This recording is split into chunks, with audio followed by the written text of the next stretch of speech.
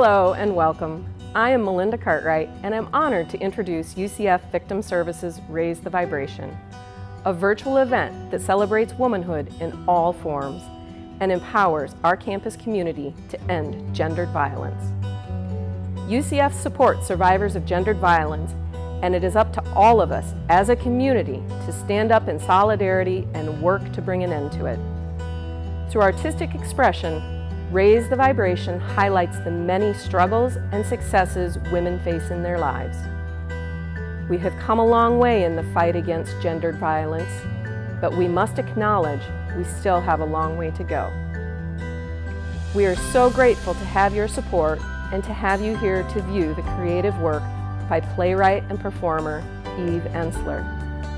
In her words, remember that we are the many and we can raise the vibration through action, art, connection, imagination, and love. Thank you for joining us and for using your compassion and creativity to make a difference.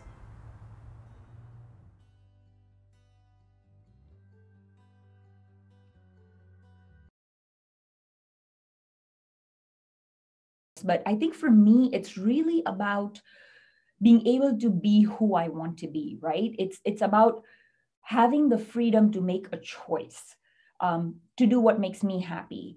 And again, I think you know it comes coming from the culture that I come from. Uh, that's not always possible for for women. And so I think for me, that has really defined who I am. You know, having the freedom to study what I wanted to study, work where I wanted to work, love who I wanted to love, marry who I wanted to marry, you know, just just pretty much, you know, whether to have kids or not, you know, all of that for me, um, you know, was kind of part of the womanhood that I kind of have.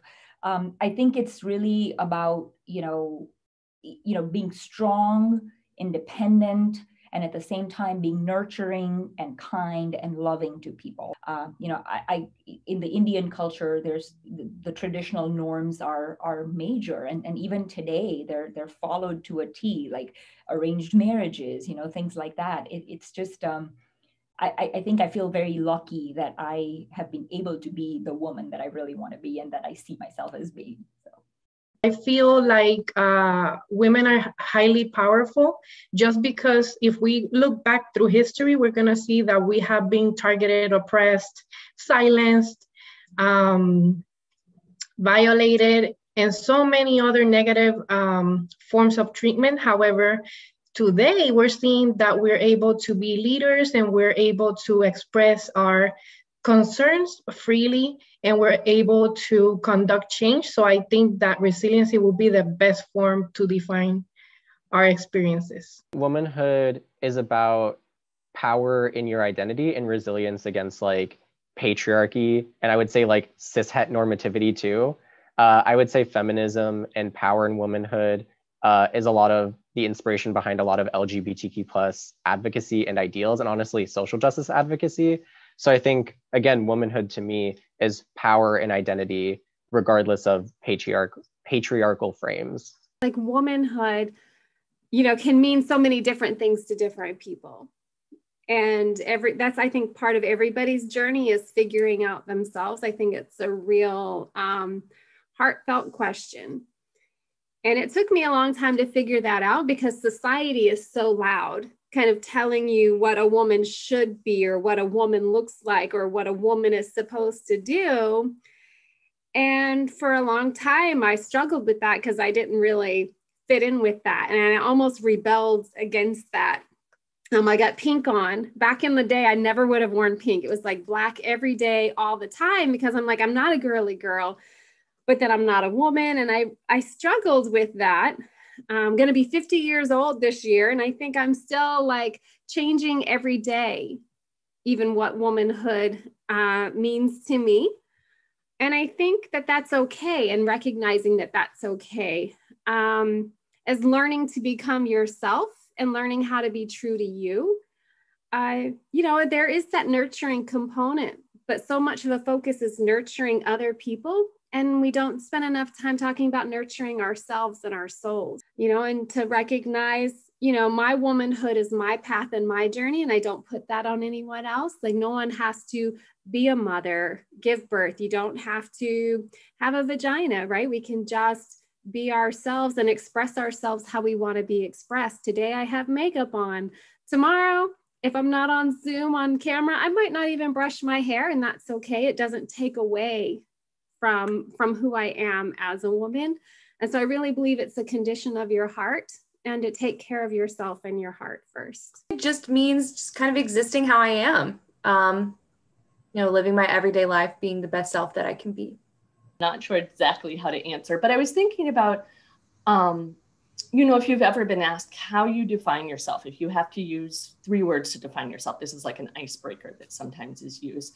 And the, some of the words, two of the words that I always use are woman and feminist. Um, and those, you know, probably in that order, but maybe feminist and, and women second. Um, because this is really ha- has defined my identity in, in so many ways in terms of uh, the causes that I work for, um, how I how I build relationships with people, and really uh, what what gives my life meaning is is you know the work that that I'm doing uh, in terms of feeling that I'm making an, an impact and doing something to to better this this planet hopefully.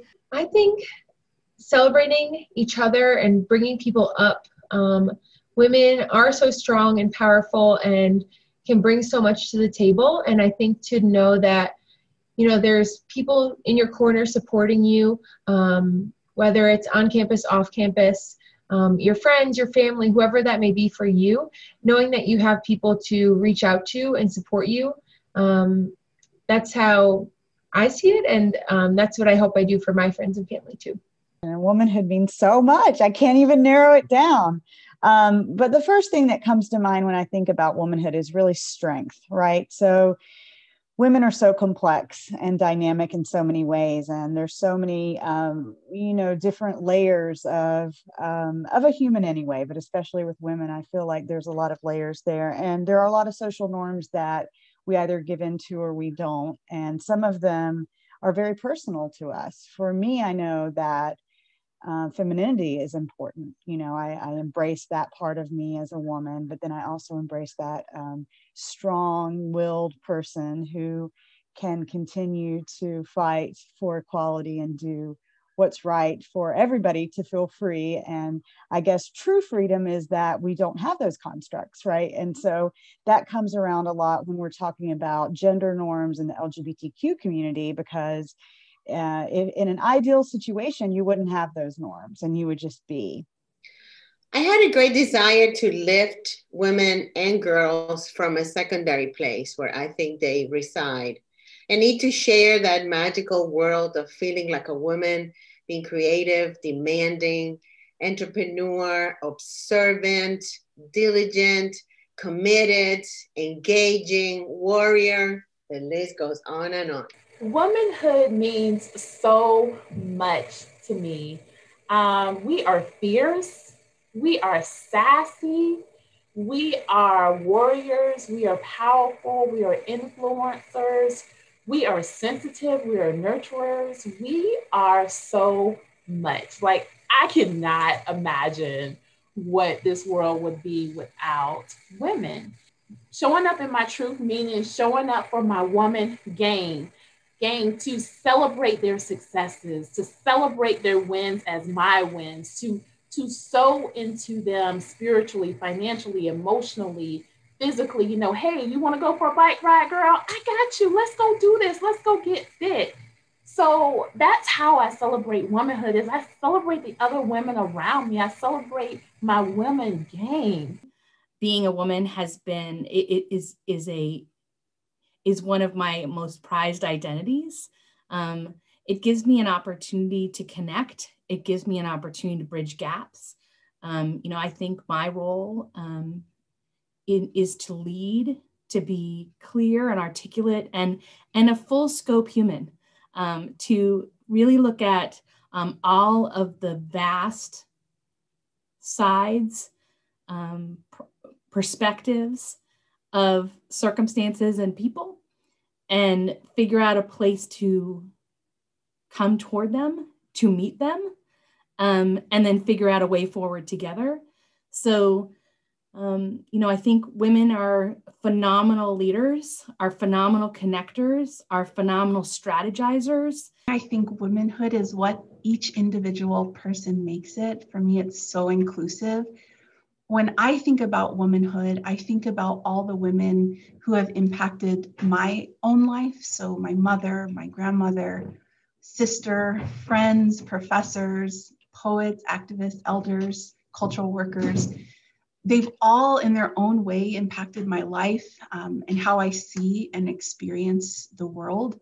And they've cared for me, they've supported me and taught me. And so, one aspect of womanhood that I really value is this concept of community, that we care for each other, we support each other, uh, and the sisterhood is really strong. So, womanhood to me um, brings to mind strength. I think about choices, flexibility, um, and honoring vulnerability. It's about empowerment and connection and having the ability to be able um, to feel supported and loved um, because you are a woman and because women are powerful and have the ability to be able to uplift each other um, and help each other feel like they can do anything.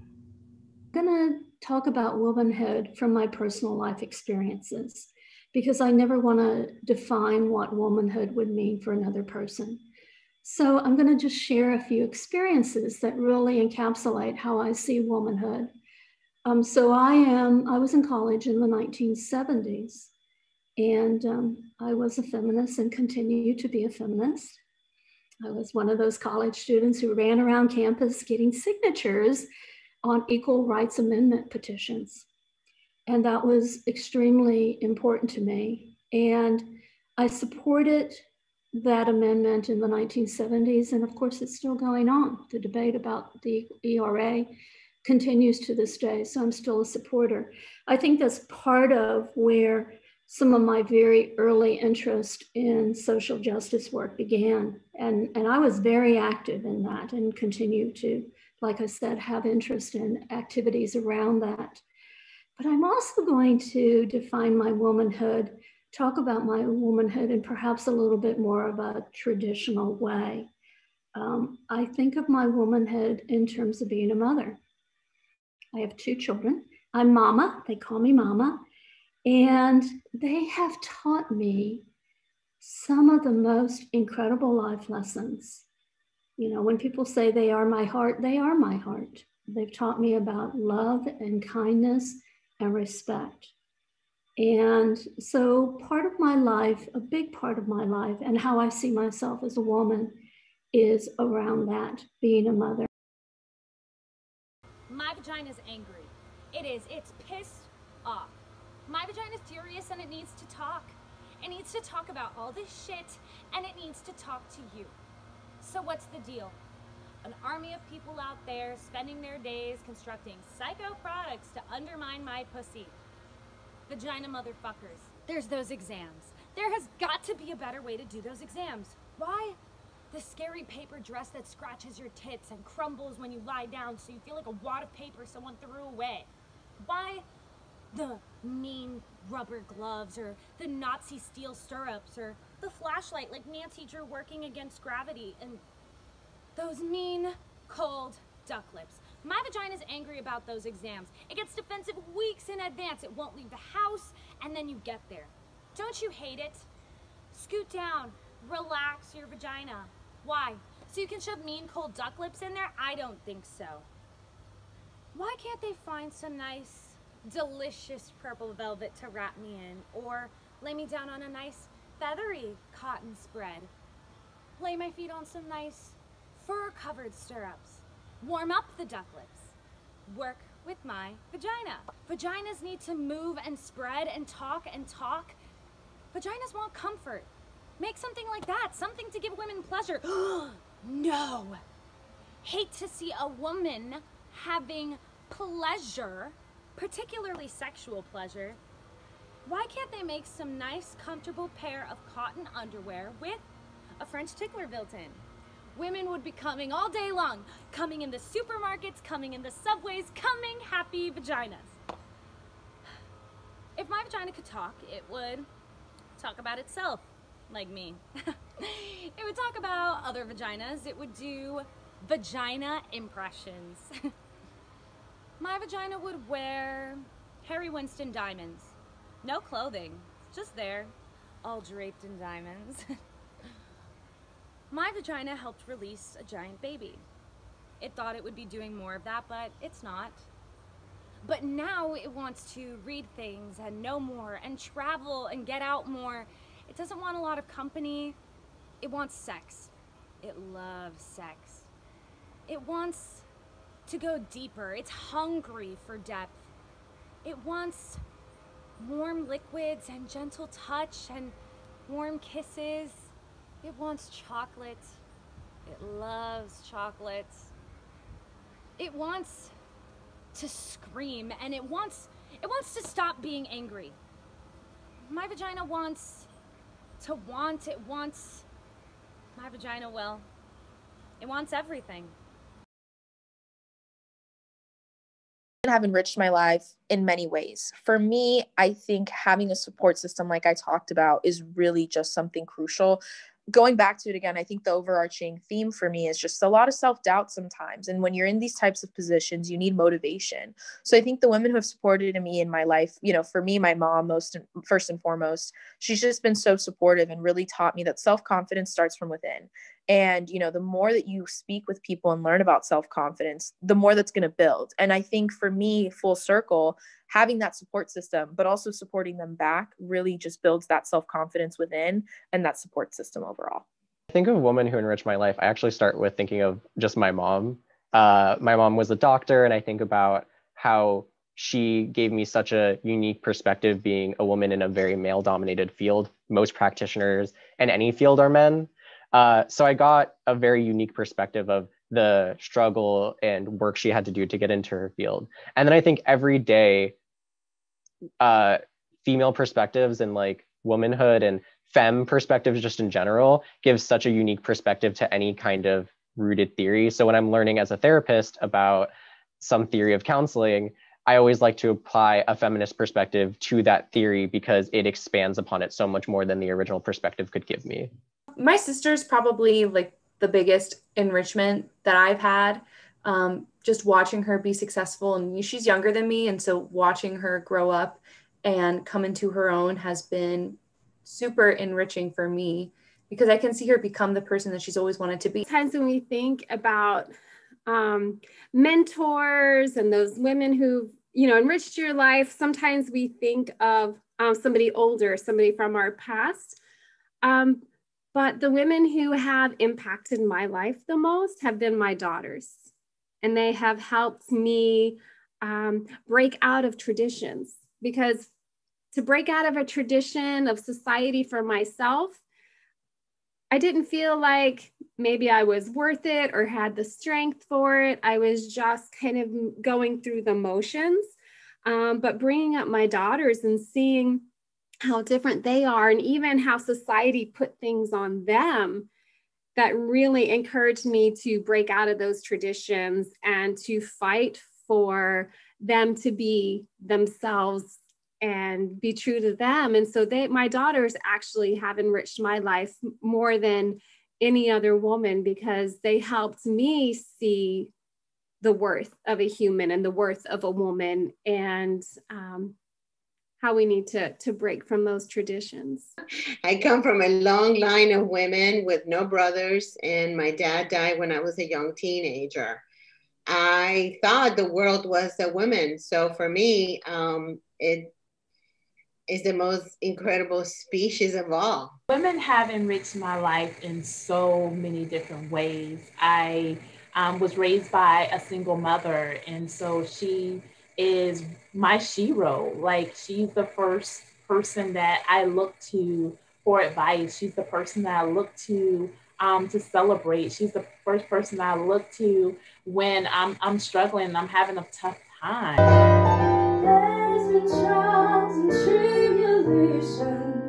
You know I've had my share, but I've come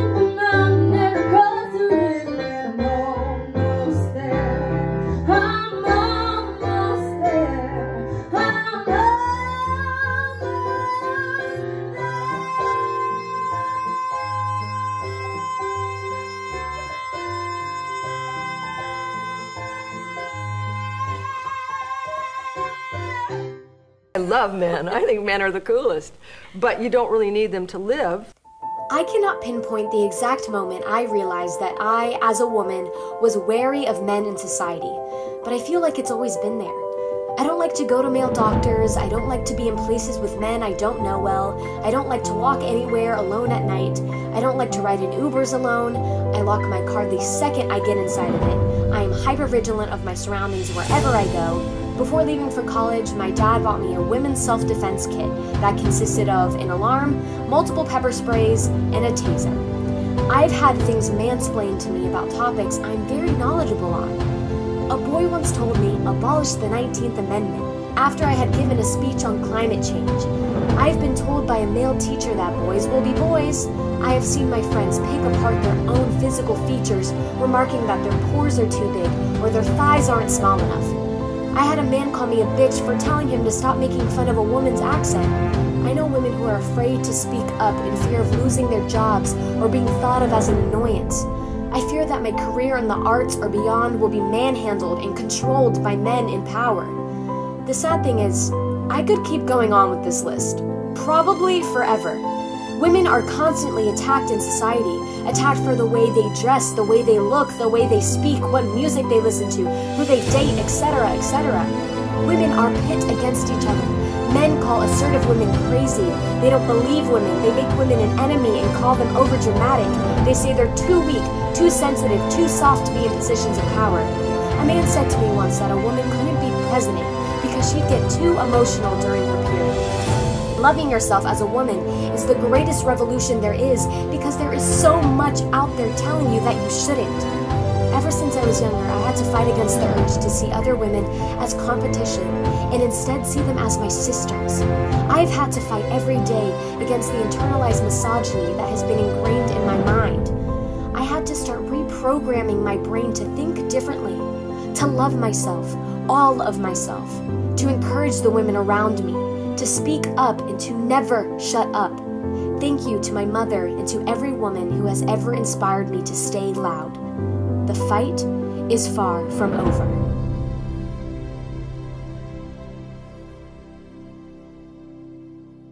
I keep meeting women who I've heard all my life are bitchy and pushy and so on and so forth. I meet them and they're, they're nice, compassionate people. It's if if you don't play your role, you know, if you dare to aspire to something, then then you get it automatically. But it's hard for me to remember that. No one deserves to feel unsafe or to be hurt. Um, gendered violence is pervasive in this world. It impacts so many people, so many women no community is immune. Um, it's it affects every community. Um, so for us to be truly free and truly liberated, we have to end gendered violence. And after that, I um, became active in a women's collective that was, um, you know, this was long before the Me Too movement or kind of the the new awareness on campus sexual assault but I had a, a lot of friends, and there was a lot of stories of, of women who had been sexually assaulted at my small liberal arts college. And so the Women's Collective started uh, collecting those stories and writing them down.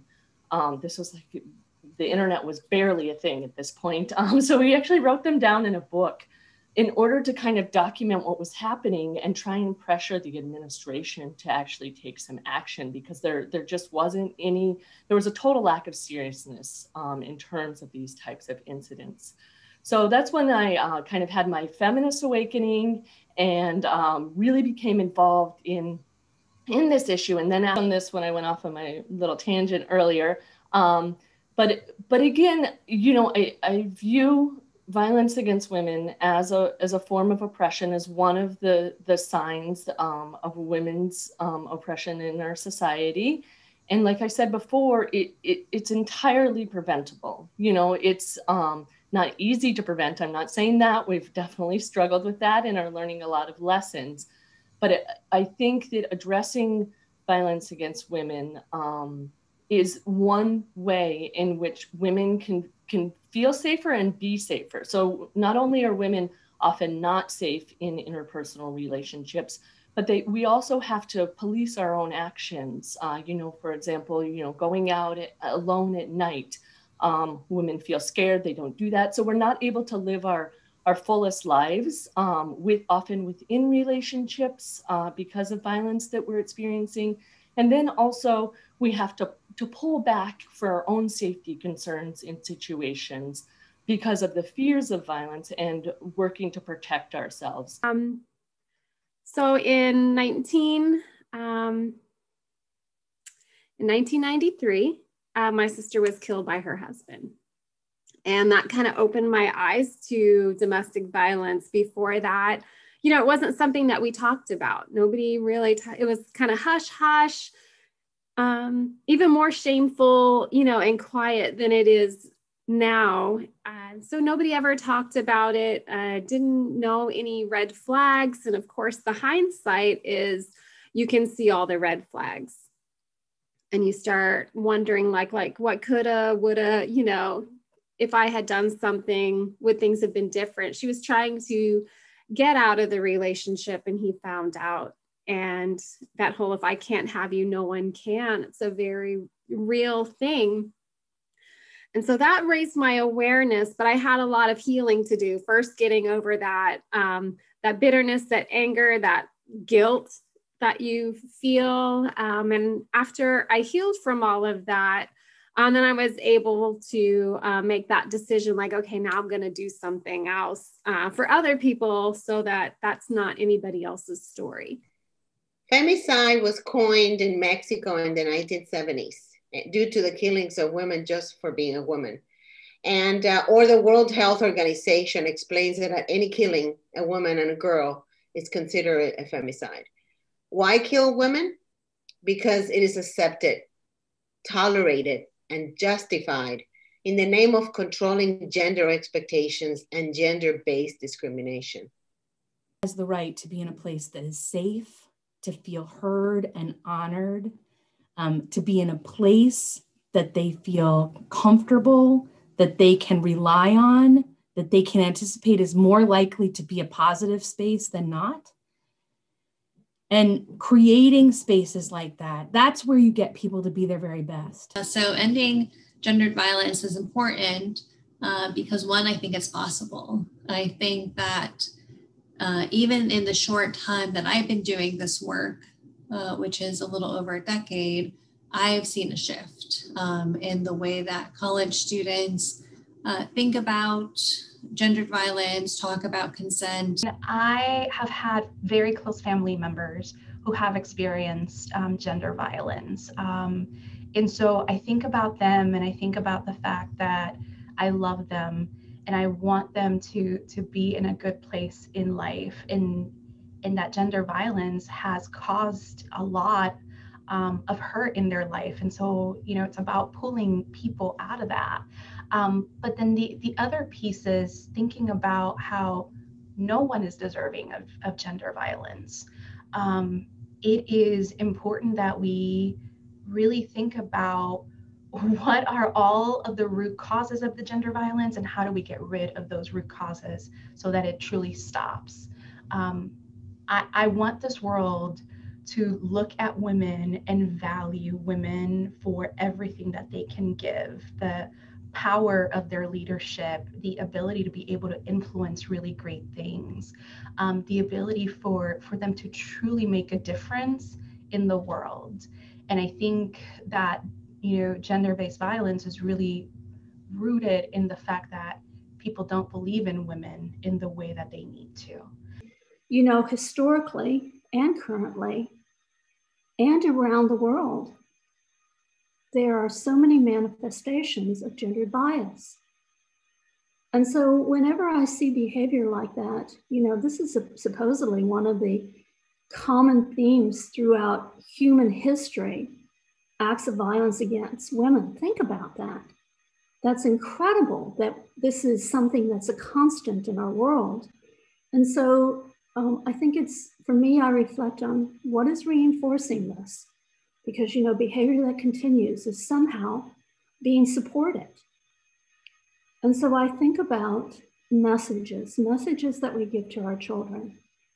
And again i'm going to speak from my own experience. As a young girl i remember learning specific lessons about being vigilant, looking over my shoulder, having my keys out in the garage, um, taking self defense, I learned and was encouraged to learn ways to protect myself.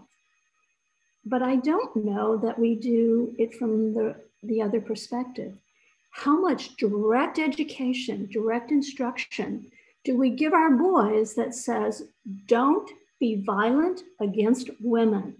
Do not do it. So, what is created by that is a culture in which we teach women to protect, or people who are um, subject of gendered violence. We teach them to protect themselves, but what are we doing on the other extreme? What messages are we saying? Don't do that. Don't don't create that situation. Um, I remember, and I'll just share this real quickly. I remember when my daughter started her bachelor's degree many years ago, and um, I won't name the school, but the college she was going to, they required all of the girls to take a course on um, violence, violence against women, but they didn't require the boys to take any kind of education. And she pointed that out to me, and we actually called the school and said, What are you doing here? Just stop you crying, it's a sign of the times. Welcome to the final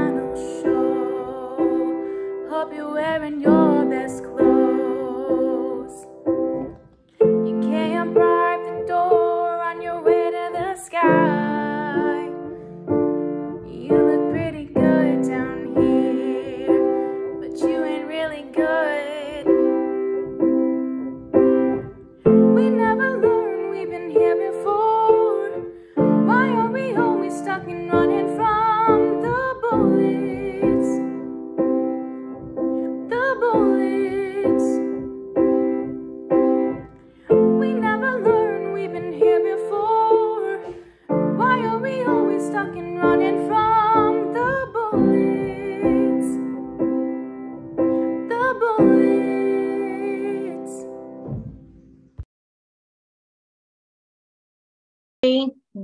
Ear to listen.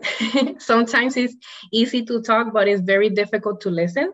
So I like to be um, a non-judgmental support for my community, for my friends, for those people around me. I also like to externalize my emotions by art, as we can see behind me. Um, I also like to uh, offer empowering statements to friends when I see them uh, being successful in their lives in social media, supporting their work, or even um, giving them a shout out when it's needed to kind of like boost that moral. I think trying to lift other women up is so important. You know, I try to make an effort to um, always lift up, trying to shut down anytime um, we have people who are engaging in negative conversations and negative behaviors about other women. That drives me crazy you know, even if we disagree with each other, it's important that we lift each other up. And by that, I mean really supporting each other, even when those systems may not be exactly aligned with our beliefs.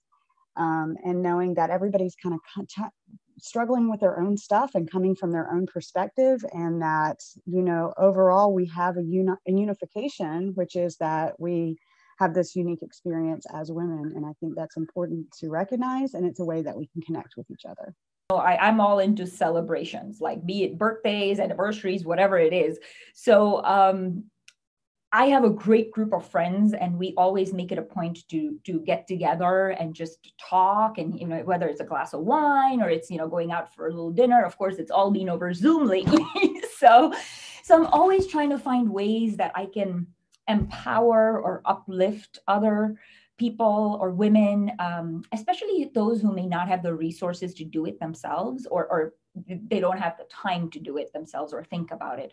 So, you know, I, I, love pampering my sister when I see her because I know she's, you know, she doesn't have the time to do that. Or I love to take my mom on a spa day just to tell her, hey, you know, I, I really appreciate you. And self care is extremely important. And I think women really, really kind of neglect that because we're always trying to take care of other people. So I try to do that. A few years ago, um, my husband and I actually um, made a choice that we wanted to sponsor um, a little girl in Kenya for her education because, again, a place where women don't always have access to all the resources, um, and education is really that key that can open doors. So um, we, you know, we have a, a, church that we partnered with, and um, they um, run a little school in my hometown, and so you know, it, it was all these connections that just felt right. And she was four at that time and she's eight now. So it's just it's been wonderful to just watch her thrive. And you know we communicate. She sends us letters. We send her letters back so I, I, think it's little things like that too. You know for us it's not much to send a monthly donation but i think for her it's absolutely life changing and and and it's i think the donation probably would cost me what i would spend on lunch or something you know maybe once or twice a week. And for her it pays for her her education, her clothing, and her medical care for an entire month. And so I think that that was just, um, you know, for us, it's it's those little things and, and any opportunity that we can get to help somebody, you know, uplift them and empower them. Yeah, I think um, obviously right now it's hard with COVID, um, but I have a group of friends who get together we hope try to get together at least once a month um, to do something whether you know for a while it was just on zoom we were just having um, times where we could celebrate each other whether it's birthdays or um, you know exciting times in our lives a lot of us um, all acquired new positions in in our workplaces um, over the last few months so just celebrating that um, again, it's it's different right now. We can't always be together, but um, even just a simple text and like I'm proud of you goes a long way. So I try to just reach out to my friends when I can and show my support um, and love for them because they um, mean so much to me. Um, I I try to remind women um, about their power. I often look around the the table and just make sure that women are represented um, at the table. Um, you know, I I try to uplift as much as possible, whether it's helping women see how important they are to the world, um, the contributions that they bring, and in their ability to make a difference. Um, I am particularly watchful of those who um, I see want to contribute, but for some reason there's fear um, to contribute. And so what I try to do is I try to bring that out of them. Um, and I think that that's the the important piece in celebrating womanhood. It's not just about giving compliments, but it's also about how are you breaking down barriers? How are you helping to advance women? How are you helping to make space for women and amplify their voices? It can start as early as five years old, when a girl in your kindergarten class tells you where babies come out. You're immediately suspicious of down there and decide to ask other women about theirs, which leads to their gasps and a harsh talking to from your mother. Suddenly, you're afraid of your anatomy. It gets worse when your body starts to change. You outgrow your clothes more and more quickly these days. It feels like your jeans get tighter every morning and it's getting harder to breathe. You refuse to look at yourself naked, even though the bathroom mirror is directly in front of your shower. That weird week in health class where you have to bring in a permission slip to watch cartoons about growing up doesn't clear anything up, but makes it more uncomfortable. It becomes a looming warning. Everything is about to change. You cry when you accidentally see your body in the mirror and understand the evidence. Just like last time, you get in trouble for your questions, so you learn to stop asking. Sometimes you're brave enough to Google some squirming details or to watch R rated movies at sleepovers, when you whisper to someone that you think you might have an eating disorder, she kindly tells you that you aren't fat enough to have one. You learn to stop whispering, too. You think it'll get better when partners start to touch you, but that elation only lasts a moment, if you get it at all. Sometimes all you can think about is what your parents would say if they knew. You don't touch yourself because you have a partner now, not because of your lasting fear of down there, of course not. Your partner's desires pose a terrifying question Do you love yourself enough to show yourself? And it's in that moment that you realize you don't love yourself enough, not at all. Women feel this way because these are the messages we're given from the age of five. We feel fear and shame because we're told that we have to hide, even from ourselves. We're rendered incapable of looking at our reflections or fully enjoying intimacy, and as such, we struggle to properly see our beauty. Women's comfort falls below our need to appease the world. Only now is this conversation gaining traction, and thank God for that. Body positive activists and sex educators will really save us all. They tell us the things that seem so simple but aren't. We are beautiful and free. We have the right to be ourselves, no matter our shape, size, or sexual activity. We can voice our support by following positive social media activists, a small task, but one that can be crucial to becoming comfortable with our existences. That comfort is the key to all of us uniting in a profound truth. We should not be afraid. We should not have to be.